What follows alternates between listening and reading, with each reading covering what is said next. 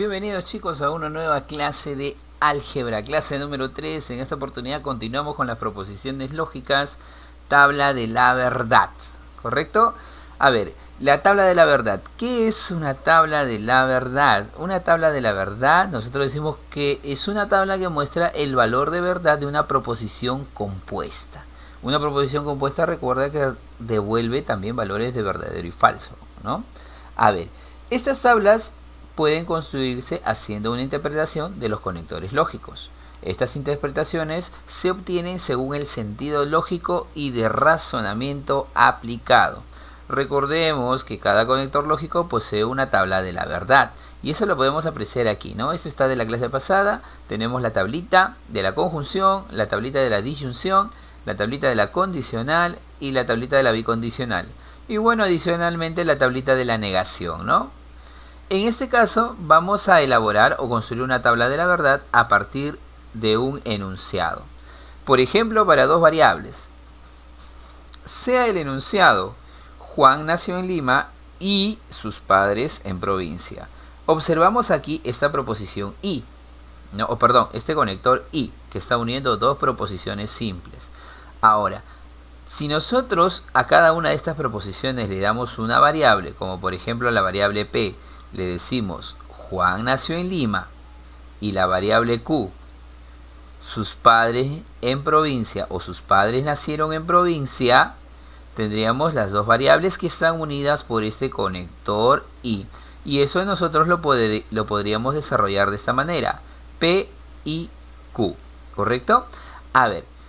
Ojo, para elaborar la tabla de la verdad, nosotros tenemos que considerar esto, que dependiendo de la cantidad de variables, se asignará un total número de filas de esta tabla, ¿no? De esta tabla. ¿Cómo así? Por ejemplo, si yo tuviera dos variables, para determinar el número de filas de la tabla sería un 2 elevado al número de variables. En este caso sería 2. Si yo tuviera tres variables, PQR, diría que esto es un 2 elevado a la 3. Vamos a ver en, este ejemplito. Dice, en el caso anterior, hemos visto que hay dos variables que son P y Q. Entonces yo digo que la cantidad de filas que van a haber será 2 elevado a la 2.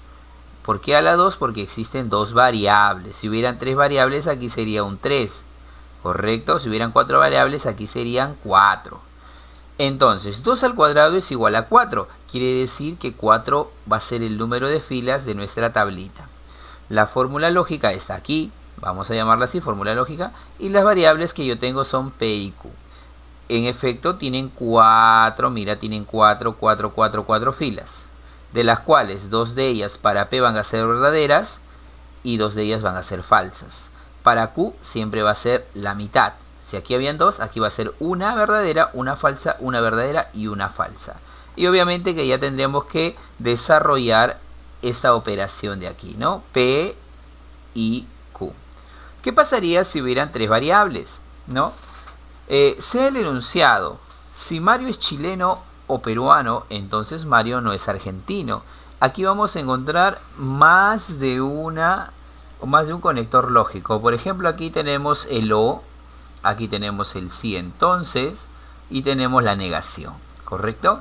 Y tenemos tres proposiciones. Mario es chileno, Mario es peruano o Mario es argentino. Son las tres, ¿no? De las cuales le hemos separado aquí en P, Q y R. Nos damos cuenta que aquí hay un entonces y dentro del entonces hay un Mario es chileno o peruano y esto lo representamos aquí, Mario es chileno o peruano. Entonces, aquí está el conector entonces, no es argentino. Mario es argentino es R, pero acá dice Mario no es argentino, entonces será negación de R. Si nos damos cuenta, aquí hay tres variables, P, Q y R. Si tenemos tres variables que son P, Q y R, ¿no? Nosotros decimos que en la tabla de la verdad se va a elaborar así. Un 2 elevado a la 3, porque hay tres variables, y 2 a la 3 es igual al número 8. 8 filas vamos a tener en nuestra tabla de la verdad, de esta manera, mira. 8 filas. De la primera variable va a tener 4 verdaderas, 4 falsas. La segunda variable tendrá la mitad, 2, 2. La tercera variable tendrá solamente una, una, una, una, una, una. Y es así como se desarrolla la tabla de la verdad. Ojo, es fácil, bueno, se desarrolla, no, se crea una tabla de la verdad. Para el desarrollo nosotros ya sabemos que debemos utilizar estos valores, ¿no? Estos valores de las proporciones. Justo ahorita vamos a desarrollar algunos ejemplitos, pero antes de eso, déjame aclarar algo más. Dice, siempre en una tabla de la verdad nosotros vamos a tener un resultado, ¿no? Se le llama resultado de la matriz, ¿no? En este caso nosotros decimos que este de aquí vendría a ser el resultado final o los valores que aparecen en esta columna. Ojo, ¿qué pasa cuando los valores que aparecen en esa columna, en esa columna, todos, todos tienen el valor de verdadero? ¿Qué pasa cuando todos tienen el valor de verdadero en el resultado final? Nosotros vamos a decir que esta es una tabla de la verdad de tipo tautológica, ¿correcto? Pero ¿qué pasa si nuestra tabla de la verdad nosotros decimos o nosotros eh, resolvemos y nos sale que todas son falsas. ¿Qué pasa cuando todas son falsas? Nosotros vamos a decir que si todas son falsas, decimos que existe una contradicción, es una tabla contradictoria. Pero ¿qué pasa si por ahí tenemos todas falsas y una verdadera? O de repente dos verdaderas. Nosotros decimos que estamos ante una tabla de contingencia, ¿no? Acuérdate, si todos son verdaderos, tautología. Si todos son falsos, contradicción. Y si hay intercalados valores, eso querría decir que es una contingencia. Ahora sí, vamos a los ejercicios para explicar mejor y resolver para aprender un poquito más. Ejercicio número 1. El ejercicio número 1 dice lo siguiente. La matriz de la tabla de la verdad de Aquí tenemos la negación de P, entonces Q, entre paréntesis, y la negación de Q. Está dada por los valores, quiere decir que nos piden el resultado de la tablita. Obviamente que eh, siempre en estas operaciones primero hay que resolver lo que está en los paréntesis. Mira aquí, hay paréntesis, o sea que este es el valor que vamos a hallar primero, representado por este operador, la condicional. Primero hallamos la condicional, Luego a la derecha tenemos la negación de Q, donde también tenemos que hallar este valor, la negación de Q. Nosotros sabemos que por tablita de la verdad aquí hay solamente dos variables, P y Q. Si tenemos solamente dos variables, nos quiere decir que la tablita de la verdad va a tener cuatro filas, porque 2 al cuadrado es 4, de las cuales las dos primeras para P siempre es verdadera y las dos que siguen para P serán falsas, ¿correcto? En el caso de Q, tenemos verdad, falso, verdad, falso. Entonces, ya tenemos aquí los valores de P y Q. Podemos reemplazarlos aquí dentro de nuestra tablita de la verdad. Eso es lo más importante. Hay que reemplazar. En este caso a nosotros nos piden la negación de P. Negación de P aquí sería F, porque recuerda que la negación de una variable me devuelve el otro o el valor opuesto, ¿no? Si aquí P es verdadero, aquí será falso. Si aquí es P verdadero, ¿cómo será acá? Falso también, ¿no? En este caso, si aquí P es falso, será verdadero y aquí también será verdadero. En este caso, en Q no hay problema, ¿verdad? En Q no hay problema, debido a que Q mantiene su mismo valor, es el mismo que está aquí, mira. Será verdad, falso, verdad y falso.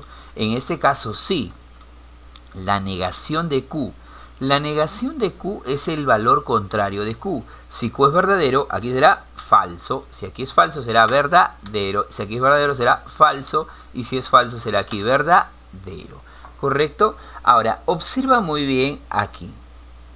Los valores que me van a resultar, o el valor resultante, siempre va a ser el que está aquí. En este caso. ¿Por qué? Porque primero debo resolver lo que está en el paréntesis. Y una vez resuelto lo que está en el paréntesis, voy a operar con el que está al lado derecho. ¿Correcto? Entonces, primero debo calcular este valor. ¿No? Calculo primero este valor, lo voy a colocar de naranjita, luego lo voy a operar con el resultado que está al otro lado, que también es este de aquí, es la negación de Q, y al final voy a obtener el valor que está aquí, ¿no? Y este de aquí es de verdecito lo voy a poner, ¿correcto? Primero calculo ese valor. A ver, según la tablita de la condicional, según la tablita de la condicional, la condicional nos dice que es falsa cuando el primero es verdadero y el segundo es falso. Mira, primero verdadero, segundo falso, o sea que este es falso. ¿Hay otro caso similar o igual? Ninguno, o sea que en todo será verdadero. ¿Correcto? Ahora sí, ya tengo el valor de naranjita, ya tengo este también valor de naranjita porque es la negación, que lo calculamos al comienzo. Ahora me toca calcular el valor de verde. Este operador de aquí es el operador I. ¿Qué me dice el operador I? Solamente es verdadero cuando ambos son verdaderos. En este caso, ¿ambos son verdaderos? No, o sea que será falso. ¿Ambos son verdaderos? No, falso. ¿Ambos son verdaderos? Sí, entonces es verdadero. ¿Ambos son verdaderos? No. O sea que esto será falso. Y ya está. ¿Cuáles son los valores de verdad de la siguiente tabla? Bueno, será verdadero, o perdón, falso, verdadero, falso y falso. Esos son los valores de la matriz, ¿no? En este caso del resultado, ¿no? En esta tabla, esta tabla está dada por qué valores? Por verdadero, por falso, verdadero, falso, falso. Ese es el ejercicio 1. Ejercicio número 2. El ejercicio número 2 nos dice lo siguiente. Eh,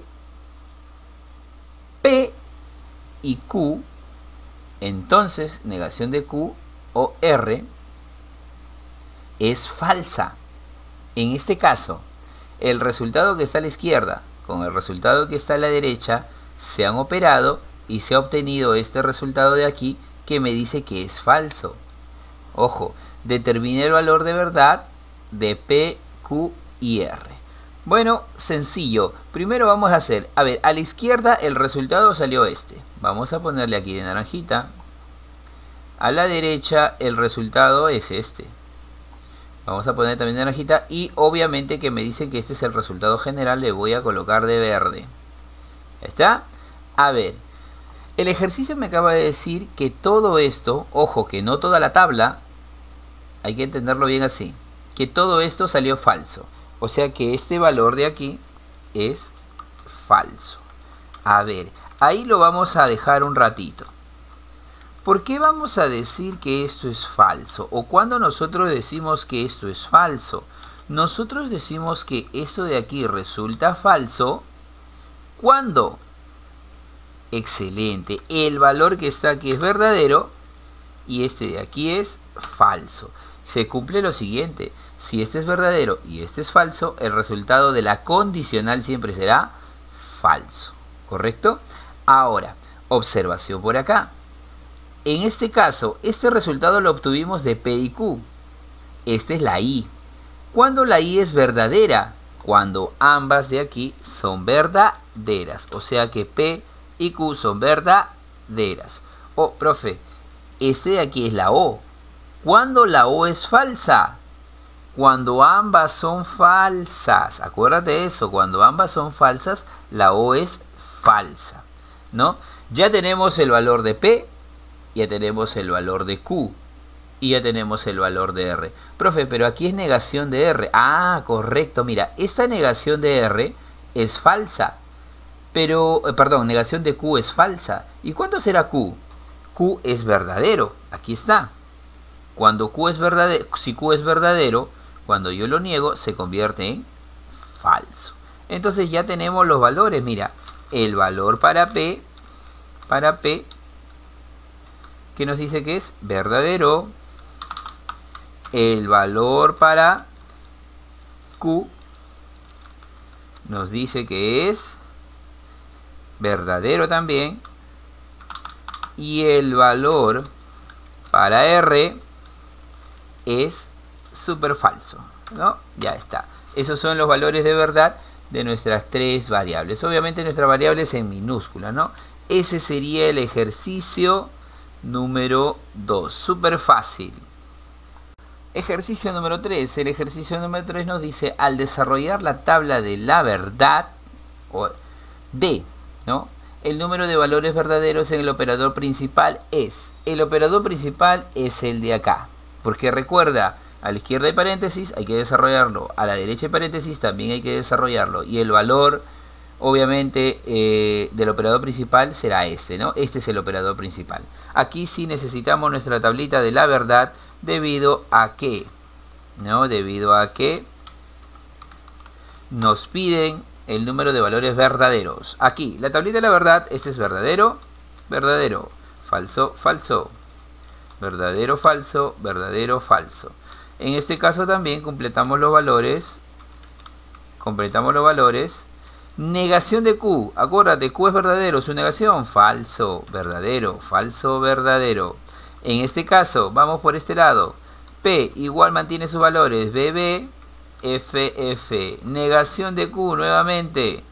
Aquí es falso, verdad, falso, verdad. Recuerda que la negación es lo opuesto, ¿verdad? Si Q es verdadero, en este caso es negación de Q será falso. La negación es lo contrario.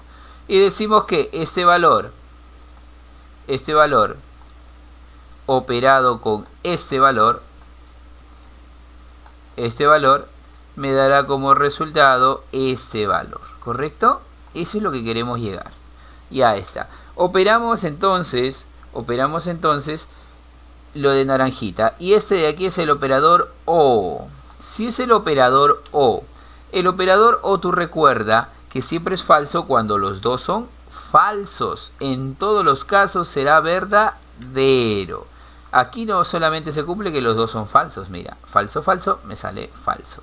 Saltamos al otro lado. Este es el operador I.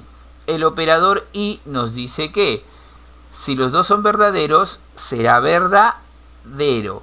En todos los demás casos es falso ya está. Y este es el operador condicional, pues, ¿no? Ese es el operador condicional, el de verdecito. Y el condicional siempre nos dice, es falso cuando veo una B y una F. Verdadero con falso siempre me da falso. Verdadero con falso no es, verdadero con falso no es, y verdadero con falso, ah, sí es acá.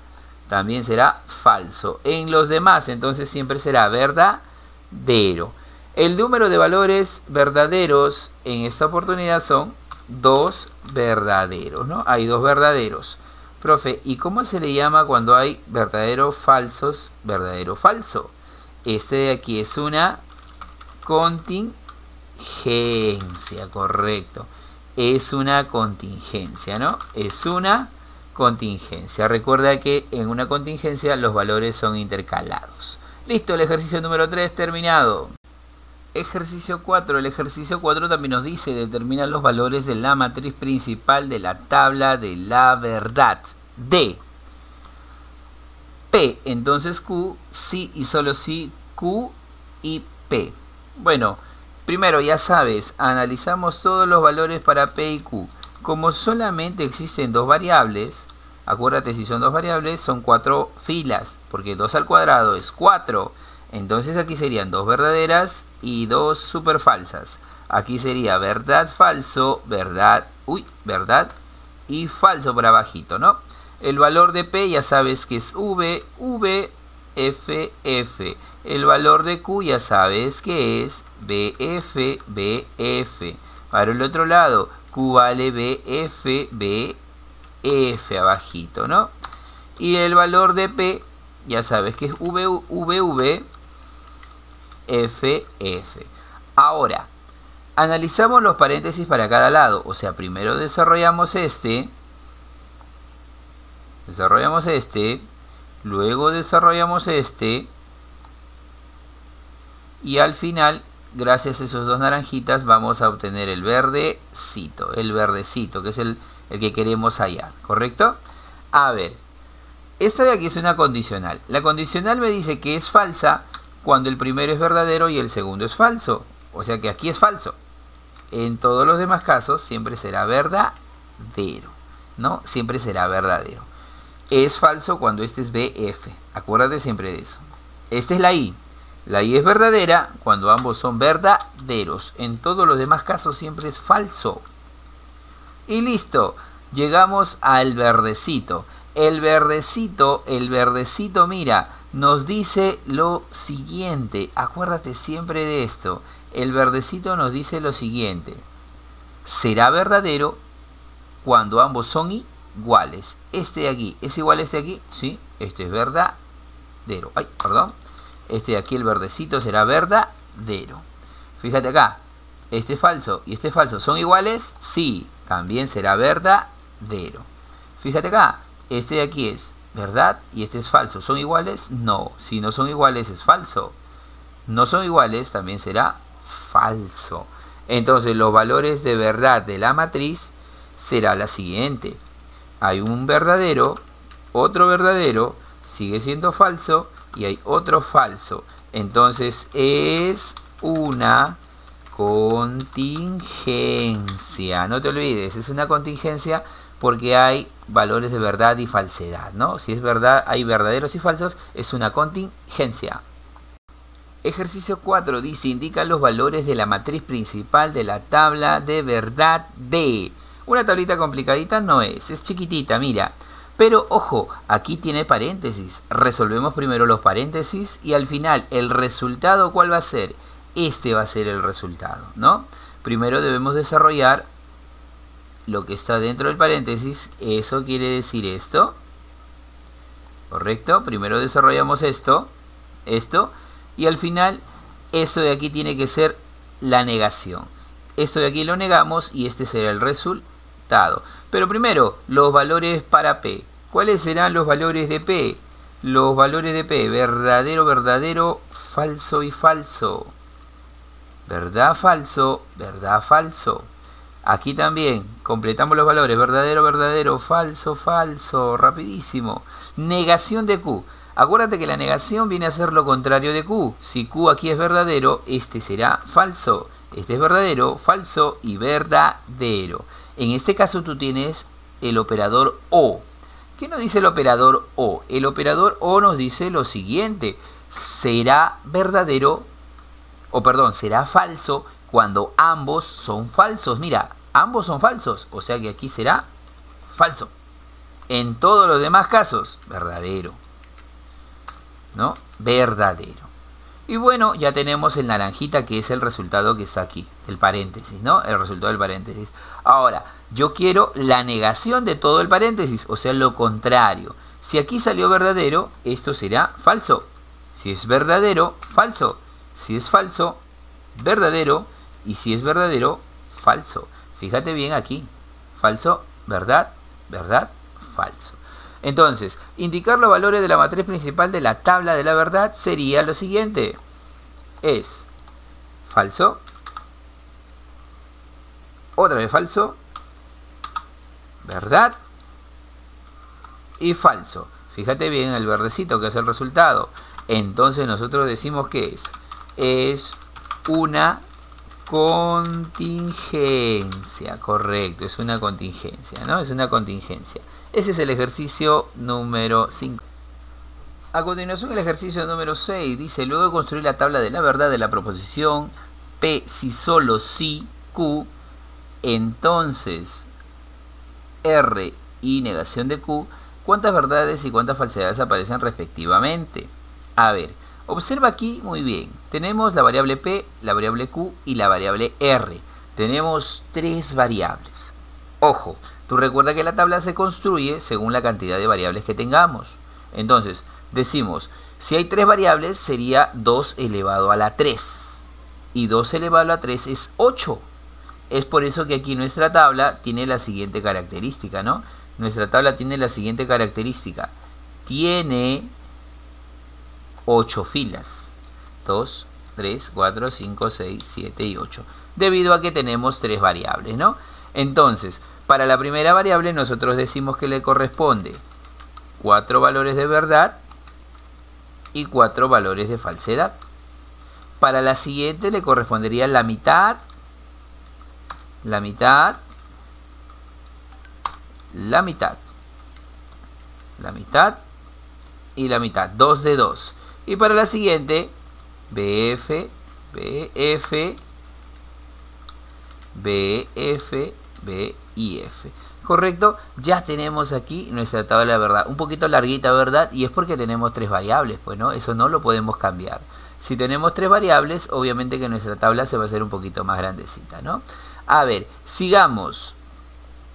el ejercicio nos dice lo siguiente. Primero, primero debemos calcular, debemos calcular siempre lo que está en el paréntesis. Mira, date cuenta del paréntesis que está aquí y date cuenta del paréntesis que está aquí. Entonces, primero hallamos el que está aquí. Luego hallamos el otro paréntesis que está aquí. Y al final, este resultado con este resultado me sirve para calcular el del centro. Este que está aquí. Ay, ay, ay. A ver. Grábate, grábate. Ya estás. Este de verdecito. Ya está, muy bien. Entonces, primero calculamos los naranjitas y luego el verde. Y los valores de P. Los valores de P. Rapidísimo los valores de P. Me ayudo. Me ayudo, ya está. Ya está, esos son los valores de P. ¿Quiénes son los valores de Q? Los valores de Q los copio nada más. Ya está, los valores de Q. Listo. Los valores de R, los valores de R. Aquí están los valores de R. Ya está, los valores de R ya están. Y los valores de la negación. Bueno, eso sí hay que trabajarlo. ¿Por qué? La negación de Q es lo contrario de Q. Si aquí Q es verdadero, verdadero, aquí debe ser falso, falso. Verdad, verdad,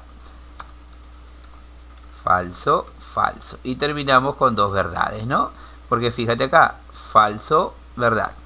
Falso, verdad. Es su negación. A continuación, operamos lo que está dentro del paréntesis. Este es una bicondicional. Una bicondicional que me dice, será verdadero cuando ambos son iguales. Fíjate aquí, son iguales, verdadero. Son iguales, verdadero. Son iguales, no, falso. Falso, falso, falso, verdad y verdad. Porque aquí en los últimos sí son iguales. Mira, FF, FF. Siguiente. Esta es la I. La I será verdadera cuando ambos son verdaderos. Este es el único caso, mira. Acá hay otro, acá hay otro. Ya está, este también. En los demás casos será falso, muy bien, falsos, ¿no? Falsos y falsos. Seguimos para hallar el verdecito. El verdecito que me dice es una condicional. El condicional, ya lo hemos visto, es falso cuando el primero es verdadero y el segundo es falso. O sea que si ves un BF, esto sale F. Aquí hay un BF, sí, sale F. Hay F y hay una B. Uy, no, esto será verdadero. En este caso hay una B y una F. Esto será también falso. En todos los demás casos siempre será verdadero. Eh, recuerda que yo solamente me, me aprendo de la tabla de la verdad de los conectores lógicos la única regla para aplicar después lo contrario, ¿no? Eso lo vamos a explicar más adelante también. Entonces aquí, este es condicional. Si es condicional, recuerda que es falso cuando este es B y este es F. Este también es condicional, F será cuando es B, F. En todos estos casos será lo contrario, o sea, verdadero, porque no cumple esa condición, ¿no? Solamente aquí en el último, cuando es B, F, el resultado sale F. ¿Cuántas veces y cuántas F salieron? ¿Cuántas veces? Salieron 5 verdaderas. ¿no? Cinco verdaderas. ¿Cuántas falsas? Tres falsas, ¿no? Tres falsas. Obviamente que esto de aquí que era, hemos dicho, es una es una contingencia. Listo chicos, y es así como terminamos los seis ejercicios. Hasta la vista.